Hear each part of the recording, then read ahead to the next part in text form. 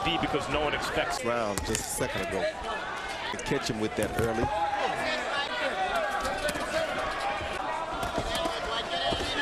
Low blow by Caparello. Oh! And Caparello dropped him. Yep, that's going to count.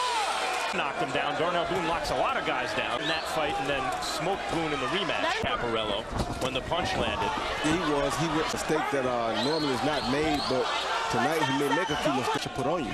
All those things are actually Claws exposed in Kovalev so far in this first round. he's fine. He's circling the way uh, an orthodox fighter, that is to say, clockwise rather than counterclockwise. Um, he's a guy. He's a guy like me. For what they tell you to do against the southpaw, starting to have a good. Oh, great body shot.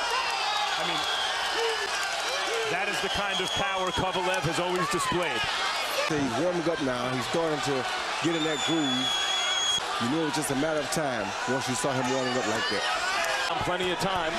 Caparello's at him, motioning Kovalev in, and Kovalev obliges. Too smart to motion Kovalev in like that with your back against the ropes. Re-ruling that a knockdown. It looked like Caparello's knee hit the canvas. Looking for openings, not throwing everything with maximum force. Caparello down again and waved off. And a great